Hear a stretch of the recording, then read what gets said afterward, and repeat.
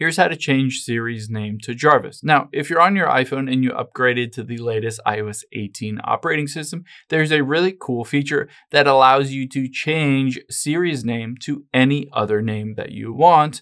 I'll walk you through the entire process, but first, hit the subscribe button down below. It really helps me out. Thanks, guys. Now, let's head into your settings here. And we're going to first tap on General and then Software Update. We want to make sure that you're upgraded to the latest iOS operating system. You need 18.0 or later to be able to do this. Now, after you've done that, let's go back, tap on Accessibility here, and then just scroll down. What you're looking for under Personal Voice is Vocal Shortcuts, and tap on that. Now on here, you're going to enable Vocal shortcuts and you're going to hit add action here. Now it says basically set up a vocal shortcut. I can hit continue. The action is on here, Siri. And then you can type in the name. You want to name it as Jarvis.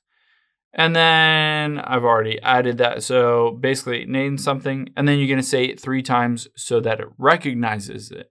Now, after you've trained your iPhone to recognize the action for Siri is Jarvis, then all you have to do is say Jarvis, Jarvis, Jarvis, Sometimes it works, sometimes it doesn't work as well. Hopefully, this feature gets a bit better.